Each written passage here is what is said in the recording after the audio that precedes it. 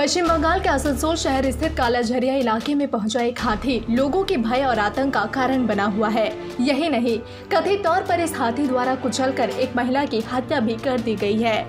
मृतक महिला की शिनाख्त आलोखा के रूप में हुई है। बताया जा रहा है कि देर रात यह हाथी आसनसोल के निकटवर्ती जिला बांकुड़ा के जंगलों से बहकर दामोदर नदी पार करते हुए आसनसोल पहुँच गया।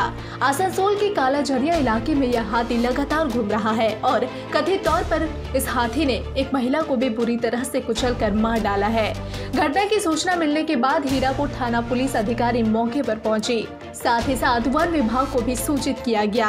हाथी के इस तरह से जनबहुल इलाके में प्रवेश करने की वजह से लोगों में खासा भय और आतंक का माहौल है।